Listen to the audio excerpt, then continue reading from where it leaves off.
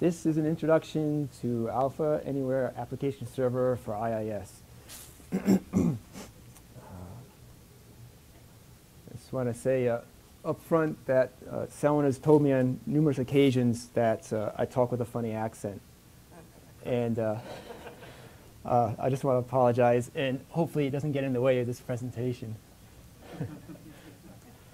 Uh, so I'm going to start off um, by saying that this beta is available today. Uh, many of you have already used it. Uh, some of you may not be aware, but uh, it is available today. You can download it. And I think I whacked the mic. Is this on? Hello? Okay. Uh, you can download it and give it a test run.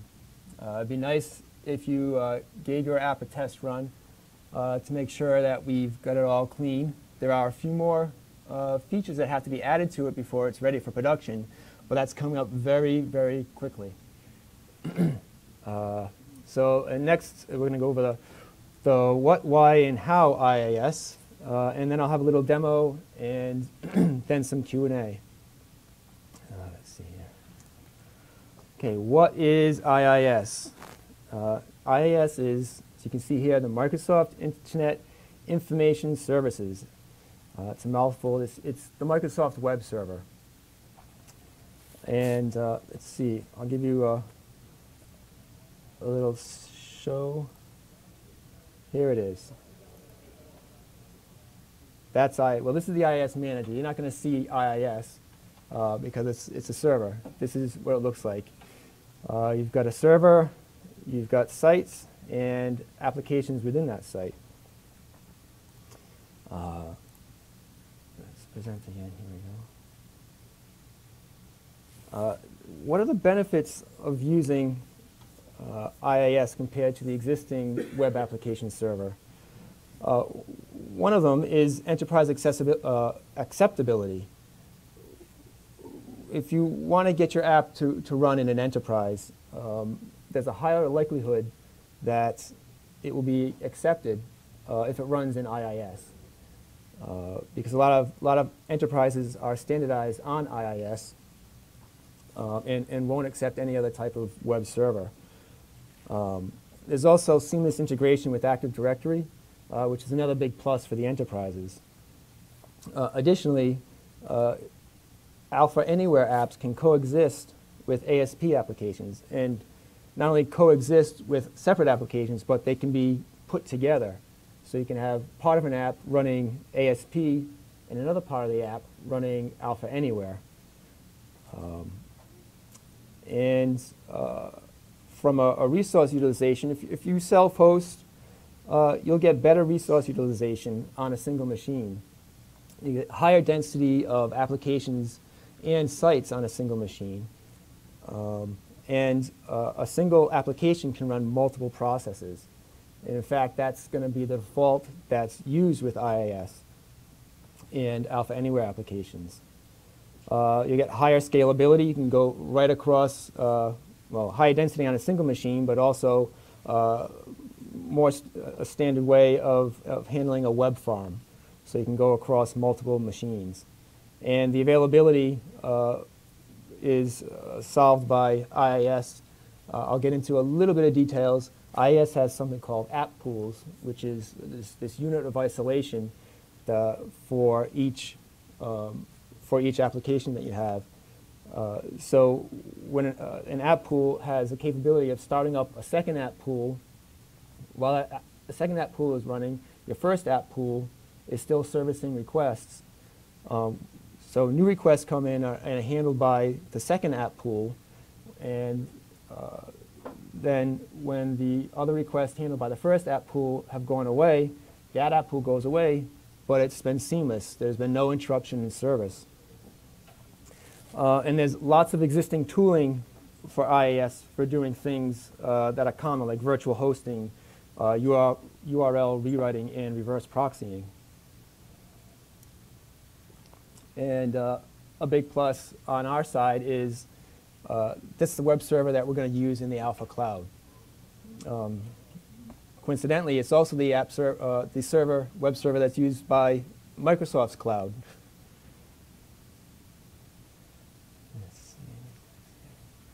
So how does Alpha Anywhere uh, application server for IIS integrate into IIS? Well, here is the infographic that's been on our website, and it shows the flow of a web request coming from the browser uh, and the response getting back to the browser. Uh, and here you see where the uh, application server for IIS sits. And you could, you could unplug this and put in Python or Ruby or, or PHP. Um, they all, they're the ones that do uh, sort of the dirty work or the interesting work. Uh, the, the nuts and bolts is handled by IIS. You got accepting, uh, accepting requests, authenticating, authoriza authorization, uh, managing HTTPS, um, and, and, and, on. Uh, the, the there should be a little, a little arrow coming back over here for authenticating. Because uh, when you use form-based authentication, the, the username and password uh, goes through the, the logging component in Alpha Anywhere apps, unless you're using integrated uh, authentication, in which case IIS would be handling all of that. Um, but then the response is generated, IIS does some post-processing, and, and, the re response goes back to the web server. Uh, so this is where the application server for IIS sits. Now the existing application server does all of this. And so a lot of this grunt work that we're doing today will be handled by IIS. Uh, and that's what it's good at. Not to say that ours isn't good at it, but uh, we'll let IIS handle it. We've got a, a very large team working on, on IIS uh, and can optimize beyond your, your wildest dreams. So here I'll, I'll, start a little bit of a demo by showing, showing you what you get once the application server for IIS is installed on, uh, on your server. Uh, this server is Windows Server 2012. Uh, the base server we support is Windows Server uh, 2008 R2. Um, that comes with IIS 7.5. This is IIS 8, as you can see here. And once it's installed, you'll see uh, some integration right away. Uh, here's uh, uh, management tools uh, for Alpha Anywhere. Um, a couple of things you need to make sure the, the installation guide goes through all these steps. Uh, but there's some direct publishing. This will allow you to dire directly publish from the IDE to IIS. Um, need to make sure that's turned on. Of course, there's licensing. Um, and another option, there's uh, a management service. So this would also need to be turned on in order to publish directly to IIS. Uh, and you can see all the different options that are available here um, for, for IIS. Uh, there's authentication, uh, error pages, all these, all these options that have similar options in the existing web server, excuse me, web application server are all here in the IIS uh, Services Manager. so let's go right to, excuse me, developing, I'm sorry, uh, creating an application and see how it can get pushed to IIS. Okay, here's, here's Alpha Anywhere. I'm going to create a new workspace.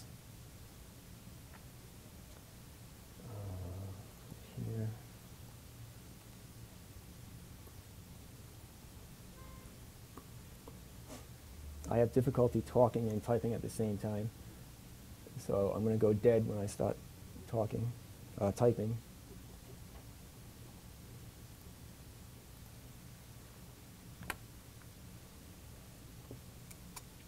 Okay, let's create a hello, hello from IIS page. Uh, okay.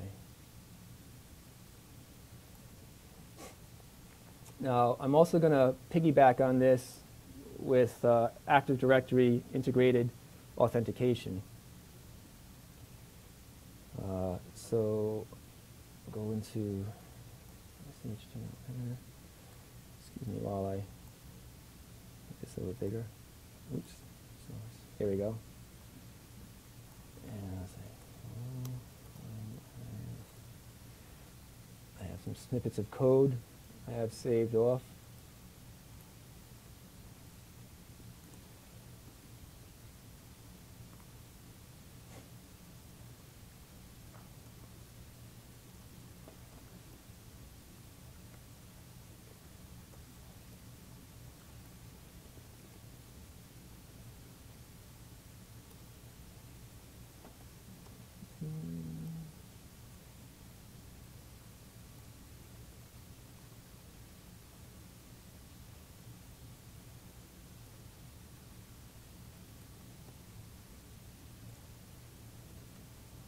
Okay, oops.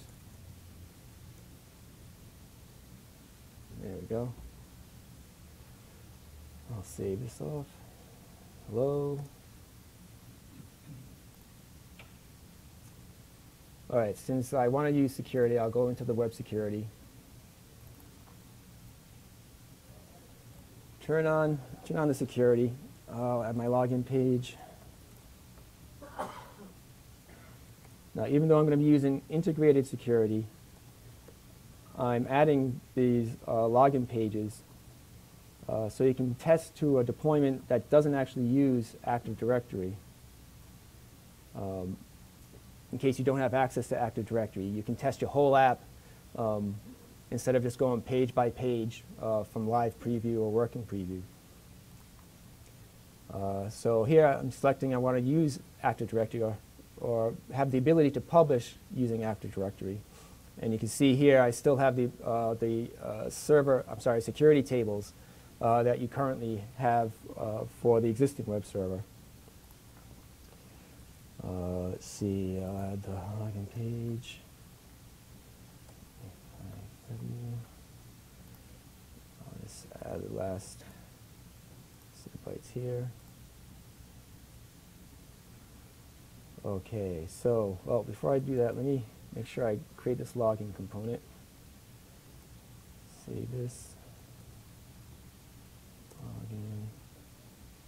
Even though I won't be needing it, I'll save a page. Save the page. Uh, login. All right, that's all set. Let's go back and let's set up the user groups. Again, I'm using Active Directory. I could type in, I could add user groups uh, manually by typing them in, uh, but in the interest of getting them right, I'm going to import. Since I, I am connected to the domain, I can import directly from the Active Directory domain. Uh, you could also import from a file. Uh, in this case, I'm going to also add some test users. Again, not that I need them, uh, but I'll do that. And here you can see this is the group I'm going to be using. Uh, there's its test, uh, test user, um, but this is the group I'll end up using uh, because I'm in the engineering uh, development group. Uh, so I'm going to go to my page security, go to hello, select it, and go down to my development. And there we go. Uh, there's one other property I'm going to set.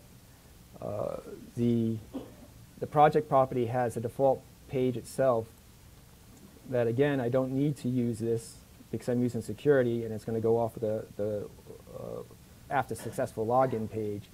But if you weren't using security, this is where you would set the default page uh, for your application.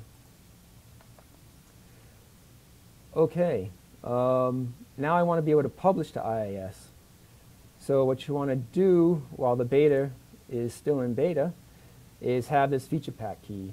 Uh, this is included in the documentation that you get uh, once you've uh, applied for the beta. Uh, the beta is free, so there's, there's, no, no worries about that. Um, and once you have that set, when you go to your profiles and add a new profile, you'll have the option for IIS. So we'll go through here. And here it knows that I, I could use Active Directory configuration, but um, it's not set. I'll say, yes, I want to use Active Directory. Uh, you could have the user enter their credentials in a, in a form, uh, but I don't want to do that. I want to use integrated. Uh, I'm not going to use user impersonation, so we'll just use, uh, use that. And now I get to set where I want to publish to. Um, type this without talking so I can get it right.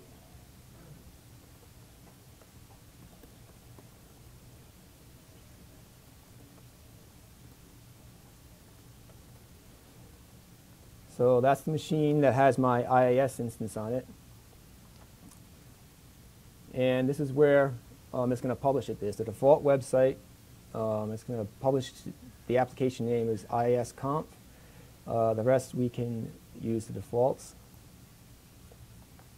Select the default page. Uh, I'm not going to have uh, XBasic logging.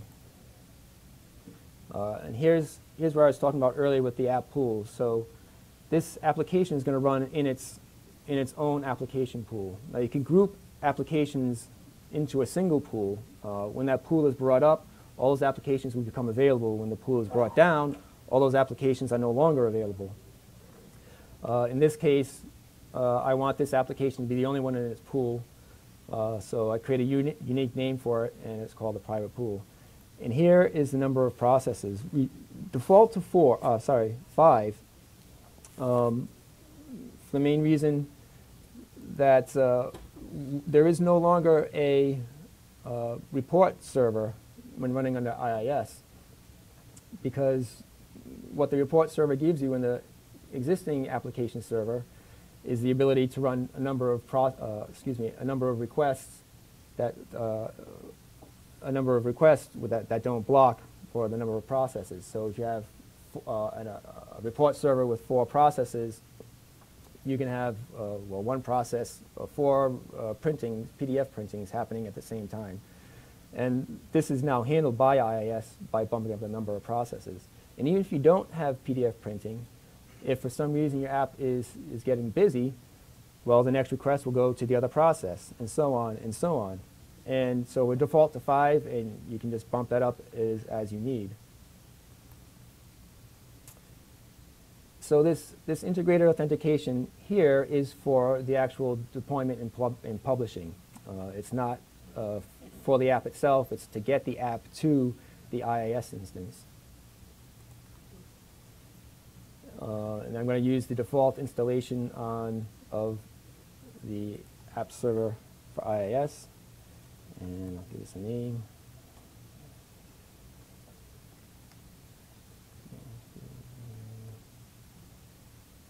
And you can see here on the published, I'm sorry, uh, the profile, there's a whole section for IIS now.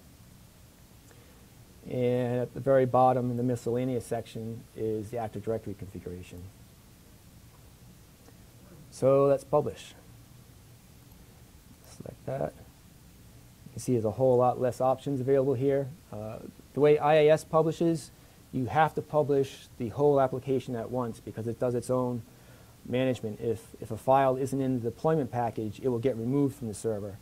So a lot of the optimizations that we have for pushing, say, only one file at a time uh, can't be done. We still have to push the whole application at, at once.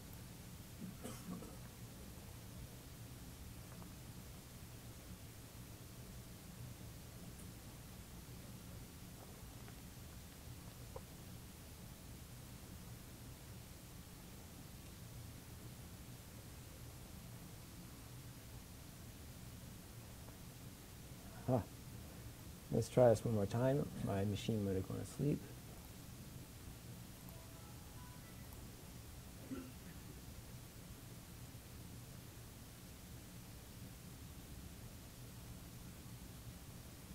And there we go. So let's go see what happened on the server. I'll refresh this, this node. And there it is is now an IISconf application on the server. Uh, and you can see up here at the top, the uh, options available uh, are for an application um, have increased. So you can, you can change the XBasic logging options. You can change some grid caching options. Um, these, these other options here are, are mainly for testing. Uh, the, these are insecure ways of, of keeping track of users and, and roles or groups. Um, so in production, you really you would not want to use these. Uh, but the important thing is, let's see it running.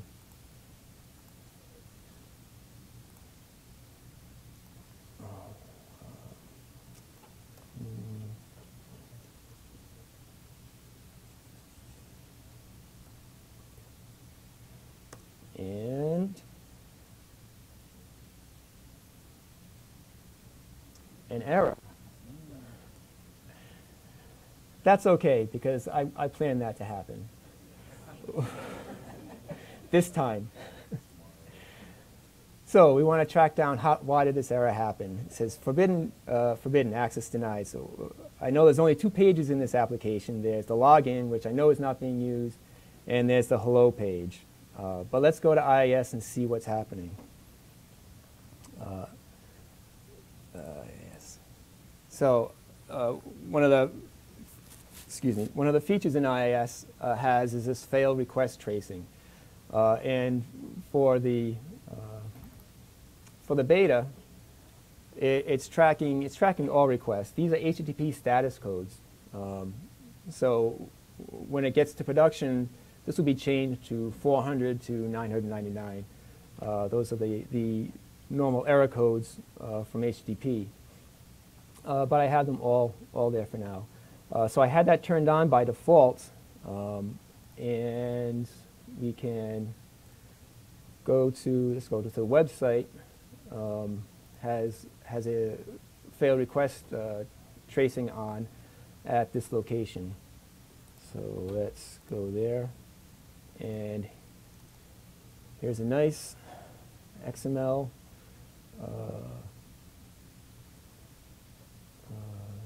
thing. It says warning, directory listing module. Well, that's weird. I'm not doing directory listing. Let's, let's take a look at the whole trace. Uh, you can see here there's a whole long list of stages that a request goes through. Uh, let's start with the one and work our way backwards. Uh, request handler, system cannot find the specified file. Why is that? It can't find the specified file because I named it incorrectly. So Let's go back to the app.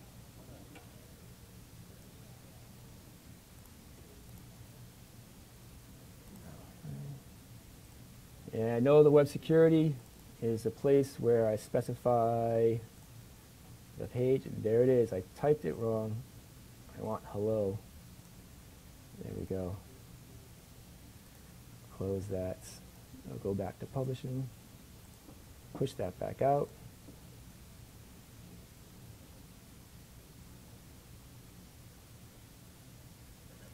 Now hopefully it will work this time, because I wouldn't be prepared if it didn't work. And there it is. You can see that that wasn't in my script. but so here here I am. Oh, you're kidding. So fast. Um, so uh, I'll be available for questions. You can just track me down. Uh, the things you can see here is that I wasn't prompted for, for my login credentials, and it knew who I was. Uh, you can see here's the development um, uh, group, so you can see that. Uh, so the question was how many people are considering using IIS, and it looks like more than half of the room. Yeah, so, I'll applaud that. Terry, you're on the right track, it seems. Thanks. So it's coming soon. Uh, any, any questions or? Uh, question over here. Is, uh, is Ulink the only thing being deprecated, or are there other features that are not going to work in IIS? So, so the question was, is Ulink the only thing being deprecated, or are there other things that are not being supported in IIS? I believe Ulink is the only thing, and actually it, it, has been deprecated yeah. already. Um, nothing, nothing new. Uh, what I didn't get to, I was going to show you the App Server demo app that, that ships with the product. It's a, a completely unchanged app. There's, there's, nothing that you should need to change for your app. Um, in the case of the App Server demo app, I did have to change some publishing things because it was designed to be run locally. So I had to publish some databases out to uh, my SQL server and make sure that, uh, say, there's a Flowers DBF that gets published along with everything else. But other than that, the app runs unchanged. You- The logging, the security, it all runs the same. For those of you who are interested in getting the beta, please send an email to guides@alphasoftware.com, and we will get you set up with the beta program. Will you set up the, the application server demo for the IIS that can be run there? Or do you need to change something? I'm sorry? Will you also send the application server demo for uh, IIS? Uh, all the Oh, changes the app that you server? made? Uh, yes, that's actually in the Getting Started guide. The, all the steps to get that published with th- those changes that I needed are, are listed in the Getting Started guide. Yes. What's the current capacity like in relation to the Alpha, Alpha server? Is- What's the current capacity like, uh, sorry to repeat, I- compared to uh, using just the Alpha application server? We haven't done definitive testing, um, so I can't give you any hard numbers. But with higher, with a, you know a higher number of processes, you, you should be able to handle more requests simultaneously uh, on the IIS server compared to the existing server. But I don't have any hard numbers, uh, or even unhard numbers right now.